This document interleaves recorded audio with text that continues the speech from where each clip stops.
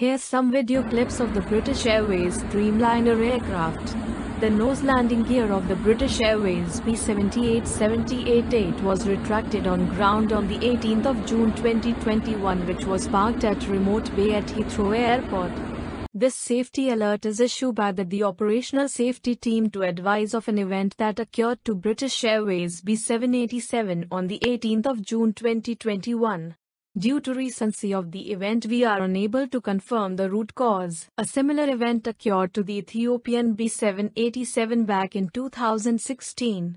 A subsequent ad was released after the nose landing gear retracted on ground. Following incorrect installation of down lock pin, through investigation it was found that there is a apex in a bore which can be mistaken for the location hole, presenting an opportunity for human factors error.